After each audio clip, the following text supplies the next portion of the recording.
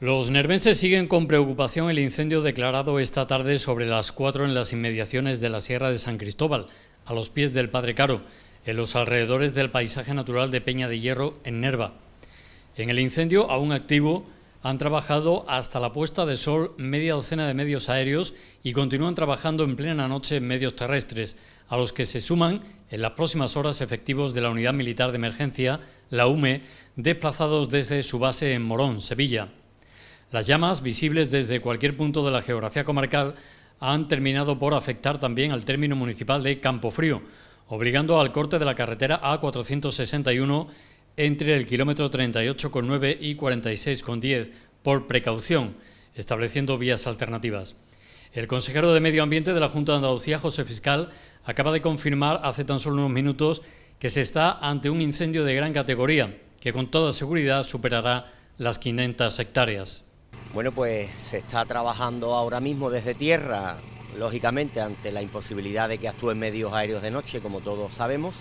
Se retiraron pues eh, al ocaso. Hay 130 eh, personas ahora mismo desplegadas por el perímetro del incendio. Bueno, van a estar toda la noche trabajando en espera de que al alba se puedan incorporar los medios aéreos y el incendio esté en las mejores condiciones pues para hacerle un ataque frontal y, con los mejores resultados que todos esperamos. A lo largo de la noche también se va a incorporar la unidad militar de emergencia, viene desde Morón de, la Frontera, se le asignará una zona del incendio en la que actúe eh, para bueno, reforzar el trabajo que ya se está haciendo por parte del dispositivo Infoca. Y bueno, el incendio en sí es un incendio eminentemente forestal, eh, no está afectando de momento eh, a ningún núcleo de población, algún eh, caserío, algún cortijo, pero no hay grandes núcleos ni medianos siquiera de población por, la zona y el resto de los datos pues ya lo conocen, en torno a las 4 menos cuarto aproximadamente eh, saltó. El incendio, se ha estado trabajando toda la tarde, un incendio importante como estamos comprobando y bueno, se está haciendo absolutamente todo por parte del Infoca y de todos los dispositivos que forman parte del Infoca, del 112, de Guardia Civil, que también está forma parte del propio dispositivo, emergencia, en fin. Eh, policía local, bomberos de, de la Diputación de Huelva también están trabajando, personal del Ayuntamiento de Nerva, agentes de medio ambiente, todos los medios dispuestos, como siempre, del mejor dispositivo contra incendios forestales que lamentablemente este año no habíamos tenido ocasión eh, de demostrarlo más que en, incendios que no llegaron ni siquiera a la, a la categoría de gran incendio y bueno, eh, mucho nos tememos que este desde luego pues sí llegará a esa categoría, es decir, eh, afectará más de 500 hectáreas seguro. ¿Puede confirmar la tranquilidad de las poblaciones de la comarca? Es que hay mucha rumorología en las redes sociales, ya sabe usted. Bueno, la, única fuente oficial de información sobre los incendios forestales en Andalucía es el Plan Infoca. Y la gente puede estar tranquila y desde luego si hubiera algún cambio, con toda seguridad se va a avisar con eh, la suficiente antelación pues, para desalojar algún caserío o lo que fuera. Pero bueno, un llamamiento a la tranquilidad porque no hay motivos para otra cosa. ¿Nivel de, nivel de emergencia Sí, el nivel 1, precisamente por algún eh, algún caserío, algún cortijo, por precaución pues se decreta el nivel 1, pero es verdad que este incendio es básicamente forestal. Hay otros incendios que afectan bueno, pues a zonas agrícolas, eh, carreteras, núcleos de población, etcétera. Bueno, este es eminentemente forestal. Es grande, es de grandes proporciones, pero forestal. Pero puntuales cortes de, carretera. ¿Se han restablecido o en qué No, eh, Creo que siguen todavía cortadas algunas carreteras comarcales, vecinales casi, eh, porque, insisto, es una zona eh, forestal y que transita eh, poca gente, ¿no? Pero bueno, hoy pues hemos tenido esta, esta contingencia. es muy pronto. ¿Se baraja algún tipo de hipótesis? ¿La mano del hombre puede estar detrás de esto? Bueno, según nos comentan nuestros especialistas del dispositivo y el grupo de, de agentes de medio ambiente, la BIF, la, Brigada de Investigación, lo que está claro es que por negligencia o con dolo, el hombre está detrás con toda seguridad, porque no ha habido una tormenta seca, que suele ser el otro eh, motivo que provoque un incendio eh, de este tipo, ¿no?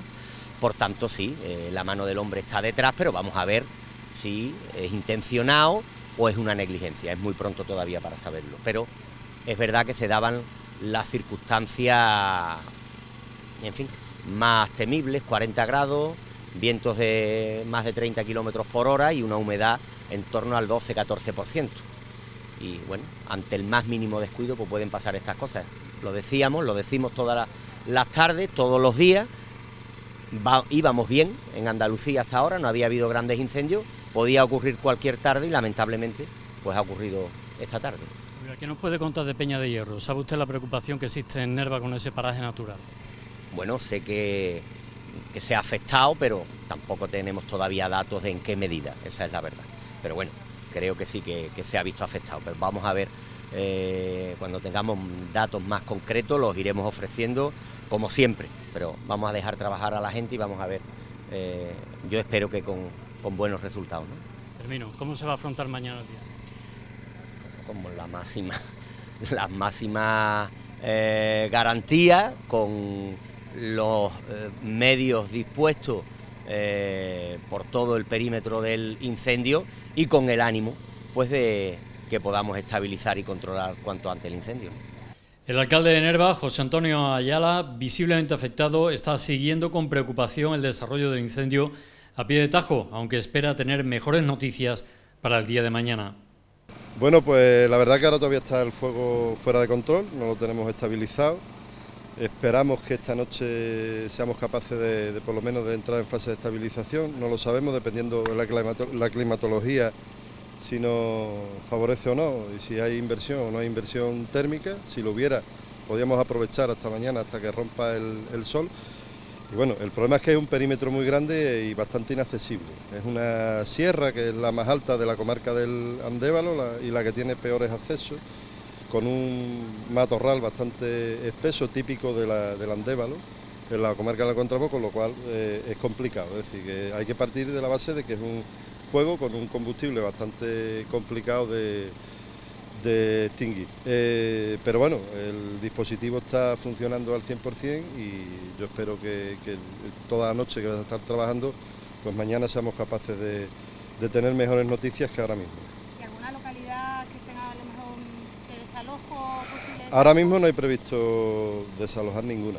Ahora mismo el, el fuego solamente afecta a masa forestal, como digo, en la sierra, concretamente se llama la sierra del Padre Caro y, ahora mismo se está metiendo en, un paraje que se llama Navalagüesa, del término de Campo Frío, y otro que es Cumbre Verdinalillo en el Campillo, ya afecta a tres términos de la comarca. Y bueno, pues en principio es solamente masa forestal, afortunadamente, porque la dirección del viento lo está llevando justo fuera de, las poblaciones. Todo depende de, cómo mañana se comporte la climatología. ¿La noche se presenta?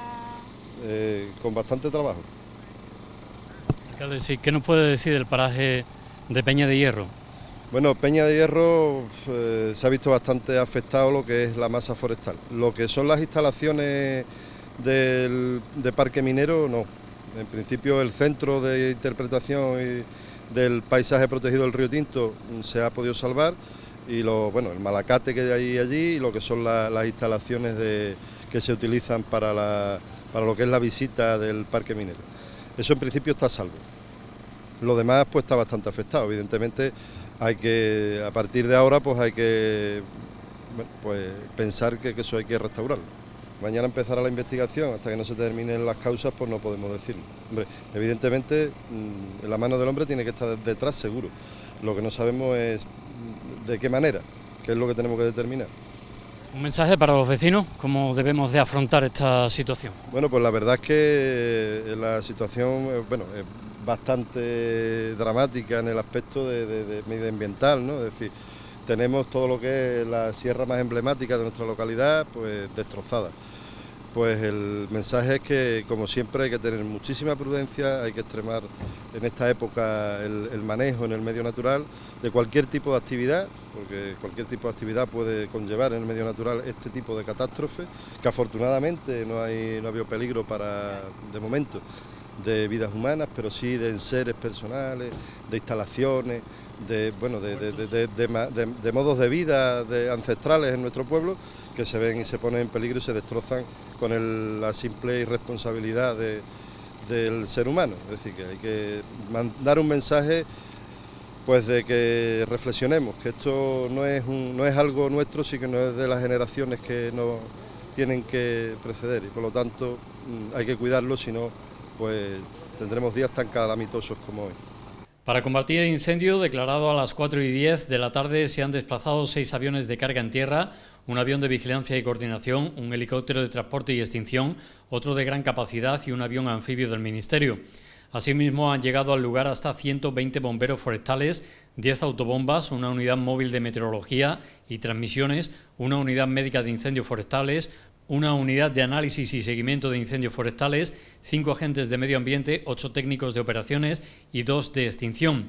El dispositivo de extinción han trabajado durante toda la tarde con contundencia bajo condiciones meteorológicas extremas, humedad relativa del 12% y temperatura de hasta 40 grados.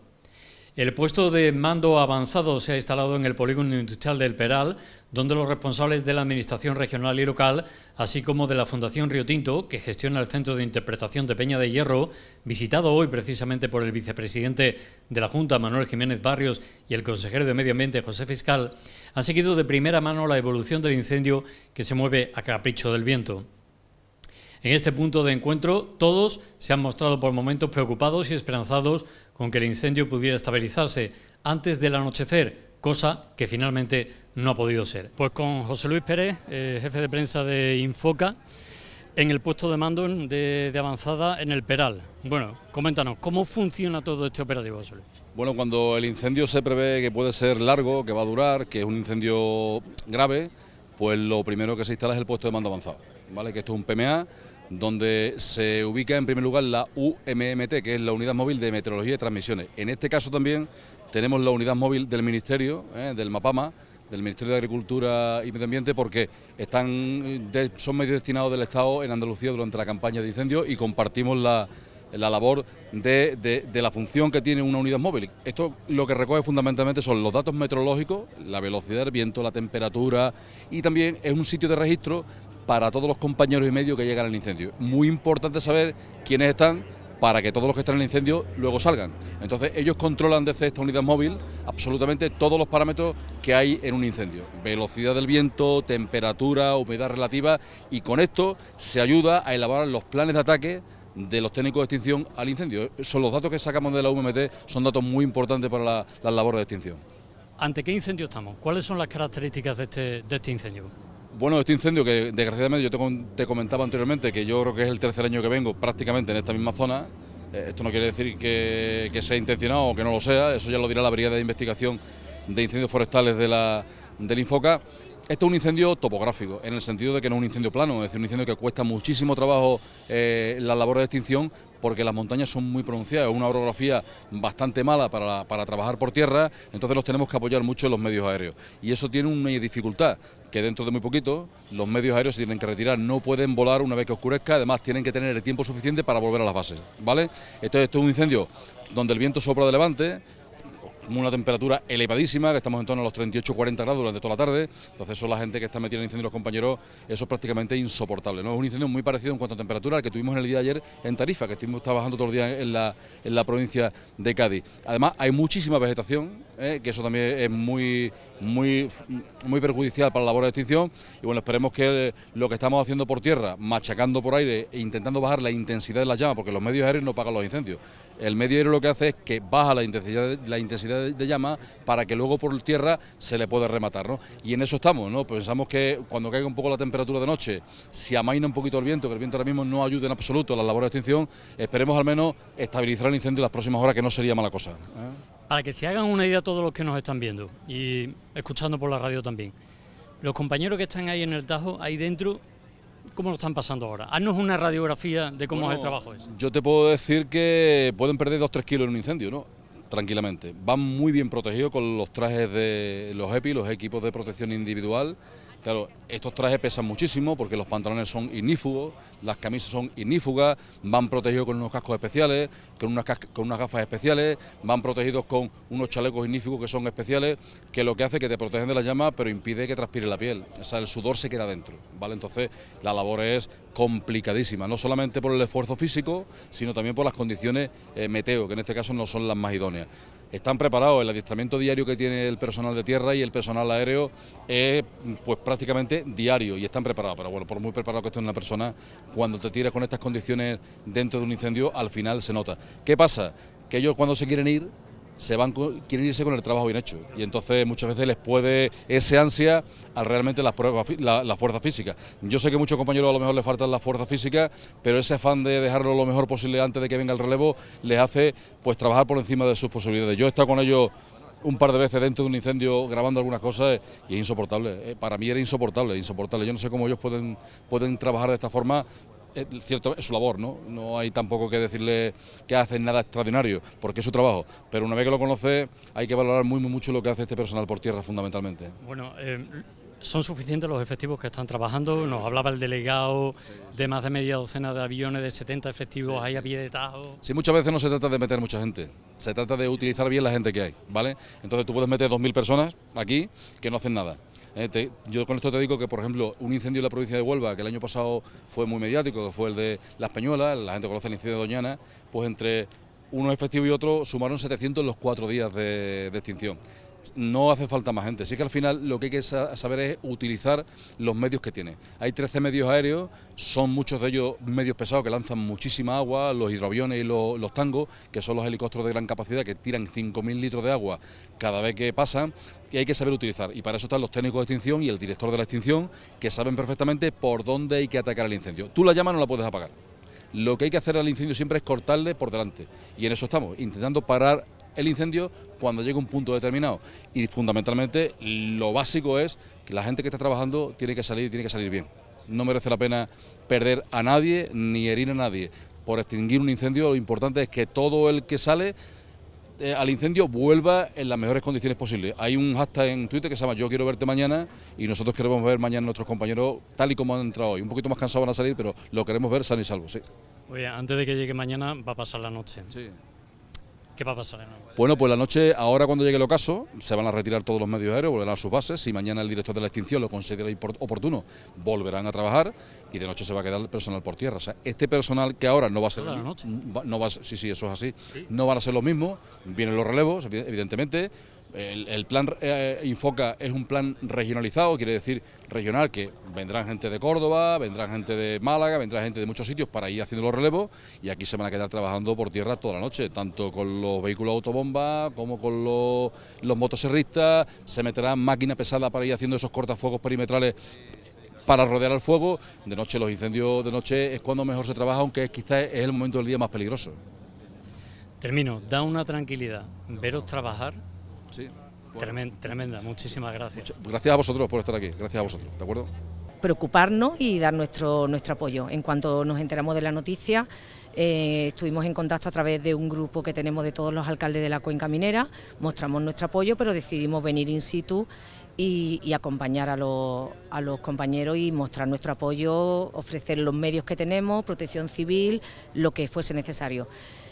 Eh, sabemos lo que es esto, ya el año pasado tuvimos un, incendio que empezó en nuestro término municipal y atravesó Campillo y, Campillo fue el pueblo más afectado que empezó en nuestro término.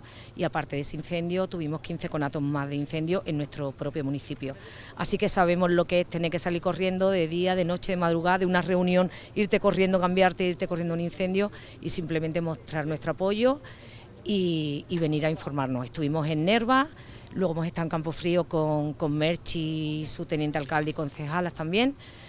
Y ahora hemos estado en la dehesa porque lo que nos preocupa es que el viento pueda cambiar la dirección y tengamos que evacuar la dehesa, que sí está en término municipal de Río Tinto, por problemas de, humo. Y simplemente hemos venido otra vez a informarnos sobre este asunto y volver a estar con los compañeros, a saludar al señor delegado y mostrar nuestro apoyo, otra cosa no podemos hacer. Estaban hablando, no sé si me lo puedes tú confirmar, de que se estaban pensando eh, poner el nivel 1 por la proximidad a la lo acabo de escuchar, o sea, cuando justo cuando me estaba invitando a hacer la entrevista he escuchado a los técnicos que estaban a nuestro lado decir que se iba a activar el nivel 1. Por desgracia, y tenemos una noche como la de aquella noche hace un poco más de un año, mucha calor y mucho viento. Todo lo contrario. Y sabemos lo que es eso y simplemente pues aportar nuestro granito de arena que sabemos que se agradece. Pues con el director general de la Fundación Río Tinto, Gonzalo Luis Bonilla, al que le hemos visto en todo momento muy preocupado, José Luis. Bueno, claro, yo creo que, no es para menos. Eh, lo que estamos viendo es un, desastre. Eh, preocupación es el, sentimiento menos negativo que podemos tener. Eh, la verdad es que afloran otro tipo de sentimientos que, que son más difíciles de controlar que habéis estado esta misma mañana con el vicepresidente de la Junta de Andalucía enseñando eso prácticamente a toda Andalucía. Sí, ha, sido, un día muy, muy importante para, la Fundación porque, eh, como sabéis, abrimos el 16 de julio el centro de visitantes y hoy hemos tenido pues eh, la visita del vicepresidente de la Junta, del consejero de Medio Ambiente, del presidente de Diputación. Eh, todos hemos estado muy contentos de estar en un centro que está teniendo una acogida extraordinaria por las 2.000 personas que han pasado ya por ahí desde que abrimos, ¿no? Y bueno, eh, el día prometía, prometía eh, muy, muy bien y, ha acabado eh, como estáis viendo, ¿no? Una pena. Bueno, se sabe que el entorno sí se ha afectado, pero se ha salvado el centro de interpretación, el Malacate Minero, que está al lado. Bueno, yo creo que todavía es pronto para asegurarlo, es pronto para asegurarlo. Parece que las noticias son positivas en ese sentido pero tenemos que esperar a verlo mañana si es que se puede acceder a, la zona y, comprobar que efectivamente no ha habido daños, al menos en esos dos elementos eh, que son muy importantes. pero todo lo que hay alrededor, pues eh, la verdad es que se ha perdido, ¿no? Eh, la arboleda, la zona del antiguo poblado de Peña de Hierro, por las noticias que, nos llegan, y es algo muy triste. Bueno, imagino que esperarás a tener todos los datos encima de la mesa para ver cuándo se puede abrir de nuevo el centro, en fin. Sí, bueno, por supuesto, eh, hoy hemos desalojado en cuanto vimos eh, el humo y sí, eh, en principio mañana no están cortadas las visitas, estamos anulando todas las solicitudes que teníamos ya cursadas y esperemos que en el menor tiempo posible pues, pueda estar en servicio de nuevo. ¿no? Bueno, a ver si el efecto solidaridad ahora sirve para dar un repunte, ¿no? Bueno, yo... había tenido una marcha el inicio de este centro, José Luis. Sí, la, ya os digo, muy contentos con la respuesta que ha tenido, pero ya que has dicho la palabra solidaridad, yo creo que con quien hay que solidarizarse en este momento es con, el operativo que, está eh, trabajando en la extinción de este incendio. La verdad es que lo que se ve desde este puesto de control es una cosa impresionante.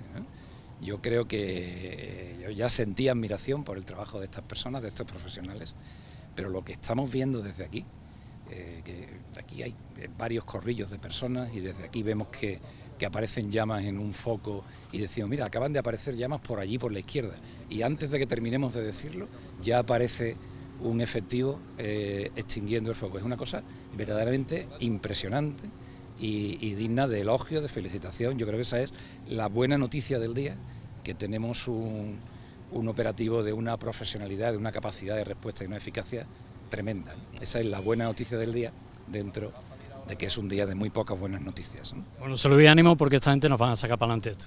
Seguro que sí, confiemos en ellos. Bueno, pues con la concejala de seguridad, con Sonia Granado, porque por más que preguntamos por el alcalde, parece que está en el Tajo. Eh, el alcalde desde primera hora, desde que nos enteramos del incendio, él se metió a, trabajar y no la noticia que tenemos de él es poca porque está en, el Tajo, vamos, que no tenemos otras noticias. Vale, pues como concejala de seguridad, ¿qué efectivo ha puesto en funcionamiento el Ayuntamiento de Nerva? ¿Cómo se ha actuado? Pues en un principio, bueno, teníamos la policía local que estaba de, servicio, inmediatamente después se llamaron para reforzarla porque vimos que, bueno, el incendio era más de lo que parecía, pero al final la, policía está casi al completo, eh, de forma voluntaria, lo cual tengo que agradecer desde aquí y con Protección Civil también está todos los voluntarios a, disposición, incluso están en, el Tajo. ¿no? rápidamente controlaron ustedes todos los accesos a, la zona del incendio. Porque había gente que quería entrar a ver sus huertos, ¿no? Sí, sí, claro. En un primer, bueno, también tuvimos llamadas de los vecinos de las barriadas más cercanas a, lo que era el incendio, porque era muy llamativo eh, el humo, ¿no? Más que, que ningún, vamos, que en ningún momento se ha corrido peligro de, la proximidad al municipio. Pero sí que nos acercamos hasta a los vecinos para calmarlos y bueno, allí también nos dimos cuenta de que había muchos vecinos que se estaban yendo hasta, hasta Peña de Hierro eh, porque había muchos huertos con lo cual lo, Protección Civil y Policía tuvo que, irlos a buscar para sacarlo porque con el viento era imposible controlar la dirección del, fuego y bueno, y e, esa era sobre todo el dispositivo local, ¿no? Que digamos noticias no ha pasado nada, ¿no? Con ningún vecino ni nada. Nada, nada, nada. Ahora mismo lo tenemos en, la granja de, un vecino, que es lo que ahora mismo está más activo y esperemos que, que se quede ahí, que no pase más, pero bueno, con ningún vecino ni daño todo lo que bueno lo que podemos ver todo nuestra peña de hierro fundación no es todo lo que es una pena que vosotros que sois compañeros no sabemos lo que teníamos programado para este fin de semana ¿eh? que empezábamos mañana a las 7 de la mañana a montar y bueno pues de momento ahí estamos en stand-by. bueno, ante todo la seguridad de los vecinos, ¿no? No podemos aventurarnos en... No, no, eso ante todo, la seguridad, apagar lo antes posible y controlar este fuego y, bueno, después veremos los daños y, y bueno, ya veremos con de Oye, concejala, da gusto trabajar esta gente ¿eh? del Infoca. ¿eh? Bueno, eh, personal del Infoca es tremendo. Hablando con el con el director de fundación, ¿no? Decía, es que es impresionante ver la coordinación, cómo trabaja, tanto lo bueno, y, yo le hacía referencia, digo, aquí vemos los aéreos, ¿no? No las 70 personas que tenemos en tierra, ¿no? Que es lo que a mí más me me pone la piel de gallina ¿no? cuando pienso en ello y desde aquí pues, mi poca aportación es agradecerle pues esta coordinación y bueno, ya veis en un momento el puesto de mando, la coordinación con la policía, con la Guardia Civil, con, bueno, pues con todos. ¿no? Muchas gracias. Concejal, imagino que doblemente preocupado por lo que estamos viendo alrededor y porque el Festival Peña de Hierro, pues no sé yo si pueda celebrarse en estas circunstancias. No lo sé, no lo sé, estoy hecho polvo, el Festival Peña de Hierro ahora mismo veo un poco lo de menos, ¿no? Más que no haya daño, em, más, más allá que el ecológico, que es insoportable, que no haya daños personales. Mucha gente muy nerviosa porque ahí hay muchos huertos, hay mucha gente que se había metido a, intentar salvar los animales. No sabemos todavía el alcance de esto y no sé, el festival yo creo que lo de menos tendremos que tomar una decisión porque tenemos contratos eh, hechos y sería un daño irreparable. Tenemos muchas entradas vendidas, había despertado. Y no sé si, dependiendo del balance de daño, pues podríamos trasladarlo a otro lugar, como puede ser a lo mejor Plaza de Toros, o incluso cambiarlo de fecha, aunque eso es más, complejo, más complejo porque los, artistas más en agosto no, tienen las fechas muy cogidas. ¿no? Entonces tendremos que tomar la decisión mañana y yo qué sé todo lo que es producción, menos mal que ha sido hoy, porque si llegase mañana hubiera sido, claro, hubiera sido, hubiera, volado todo, toda la producción de aquello, ¿no? Y van a empezar mañana a primera hora a montarlo, yo estoy hablando ahora mismo con la, con la empresa de, de, Impulsón, la que, la que monta eh, la producción, y bueno, de momento hemos parado un poco todo a la expectativa de que, de que, de que, de ver qué decisión tomamos a la vista del alcance de que tenga esto. Bueno, tenemos plan B, pero hay que esperar a ver qué evolución toma esto. Pues evidentemente el plan A, o sea, plan A ya no existe. El plan A, lamentablemente, por más que me duela, por más que me haya tocado vivir esto también, el Peña de Hierro pues, como escenario ahora mismo no existe y no sé si alguna vez volveremos a tenerlo. No sé si alguna vez volveremos a tenerlo. Espero que sí, porque eso es un, logro que, ha tenido Nerva, que ha sido capaz de en un paraje natural eh, conseguí 10 años seguidos de grandes artistas y grandes eventos y, consolidar un festival de esta magnitud. Pero yo creo que el que tanto soy, si soy yo el que está el año que viene como el que venga, creo que debe de intentar de, apostar y de aprovechar eh, todo, todas las oportunidades que se presten a, intentar recuperar eso, porque eso es algo que a los nervenses les duele, les pesa y, yo estaba, vengo de la exposición de, Rosario Moreno y, allí estaba todo el mundo con las lágrimas saltadas cuando he dicho, porque se daban los colores de nuestra tierra y claro, eran verdes o qué tal, digo, el verde esperemos verlo algún día, lamentablemente en los ojos de Rosario Moreno sí se puede ver, ahora mismo pues, pues, el verde está bastante oscuro. Bueno, pues con el delegado de Medio Ambiente, eh, que a muchos les sonará mucho en eh, Nervense, con José Antonio Cortés. Bueno, vamos a, ver cómo está la situación en estos momentos y después entramos en mayores análisis. Pero la situación ahora. La situación ahora es que hay que decirle a la población de Nerva, de la Granada de Río Tinto y de, la, y de Campo Frío que esté tranquila. El dispositivo Infoca es sin duda el mejor efectivo contra incendios forestales del mundo y el dispositivo que está montado con 13 medios aéreos, que parece que hay un helicóptero o un avión, no, hay 13 medios aéreos actuando, están impidiendo que el fuego se propague, están atajando los focos, el foco sur está ya prácticamente atajado y ahora estamos en el foco norte-oeste, dirección Campo Frío, y esperemos que el trabajo que se está realizando, que es muy bueno, se ayudan las condiciones climatológicas y el viento eh, cambia de dirección, que al parecer los técnicos dicen que dentro de un par de horas va a cambiar de dirección, puede ayudar a que se ataje lo antes posible. ¿no? Pero lo que comunico a la población de Nerva específicamente es que estén tranquilos, que está el mejor dispositivo del mundo actuando y que se está actuando con diligencia, con prontitud, con rapidez. En algún medio está saliendo, en algún medio digital, que, no hay medio, que no hay efectivo. Eso es totalmente falso, porque como tú estás comprobando y están comprobando estas cámaras, los aviones no dejan de pasar y los helicópteros y eh, tenemos 70 efectivos a pie de, incendio, 10 eh, tanquetas, es decir que el dispositivo que se ha montado es enorme, ha venido un refuerzo de Sevilla, tenemos dos aviones de Málaga, es decir que eh, para nada es cierto lo que se está comentando en algunas redes sociales que como ya sabemos se dedican a difundir bulos para alarmar a la población. La población debe estar tranquila y debe estar confiando en este Infoca que no va a fallar a Nerva ni, ni a Andalucía. Bueno, la rapidez de actuación, eh, como usted ha comentado, ha sido crucial y determinante. Eh, como hace siempre el Infoca, en el momento que se detecta eh, desde la torreta que tenemos al fondo, en la Sierra del Pecaro, el, foco, se alerta, los medios estuvieron aquí, inmediatamente se avisa por la importancia de la masa forestal, que iba a ser un incendio bastante importante, se avisan a los medios aéreos y prácticamente en 15-20 minutos estaban ya los medios descargando. Por lo tanto, insisto, lo que están diciendo algunas personas malintencionadas en las redes sociales es falso. Se actúa con prontitud, se, está, eh, se continúa actuando con total efectividad y rapidez y, negligencia y eh, es inevitable que algunos se dediquen a difundir bulos para alarmar a la población cuando debería ser todo lo contrario, ¿no? sino tranquilizar a la población, en este caso de Nerva, también de Campofrío, que estamos en contacto con, su alcaldesa y con sus concejales, para que sepan que en la medida de lo posible vamos a impedir que llegue hasta Campofrío este, este incendio. A ver, delegado, mm, pinta que la cosa se va a estabilizar en las próximas horas. ¿Apostamos porque sea antes de anochecer? Esa es la intención, esa es la intención, eh, porque mm, si el, fuego está controlado antes de anochecer, eso favorece mucho el control de la posible propagación de otros focos que aparezcan. Pero hay que estar siempre con los dedos cruzados pensando en que las condiciones climatológicas no cambien y que ayuden y favorezcan eh, la intervención que se está realizando. Por lo tanto, esperemos que sea así. Los datos que nos están aportando los técnicos de Infoca son así, pero, insisto, ya tenemos bastante experiencia con el año pasado, que muchas veces cuando parecía que teníamos controlado un incendio, aparecía otro foco o cambiaba la dirección del viento y nos provocaba eh, un momento de nuevo peligro. ¿no? pero esperamos que se cumplan las previsiones, que todo eh, se mantenga como hasta ahora. Estamos viendo que el viento se ha estacionado y esperemos que las previsiones en dos horas, tres horas eh, den un aspecto más positivo del que tenemos en estos momentos.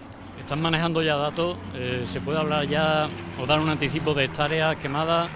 No, hay que ser muy, ni tampoco, aunque intuimos que ha sido provocado, tampoco podemos asegurarlo pero los técnicos ya están eh, actuando sobre el terreno para dónde ha sido el foco de inicio y si ha sido provocado o no. Pero qué curioso que hoy hayamos estado en Nerva eh, haciendo un homenaje eh, totalmente merecido a la recuperación de nuestra memoria histórica, que hayamos estado en Peña de Hierro visitando el centro de interpretación de la mina del, del, río Tinto y que hoy, hoy mismo, a los 15 minutos de abandonar el lugar, aparezca un fuego en el mismo sitio que hemos estado visitando. Por lo tanto, casual no hay nada en esta vida, lamentablemente. Hay algún terrorista medioambiental, algún pirómano que ha estado aprovechando esta ocasión y le han ayudado las condiciones climatológicas.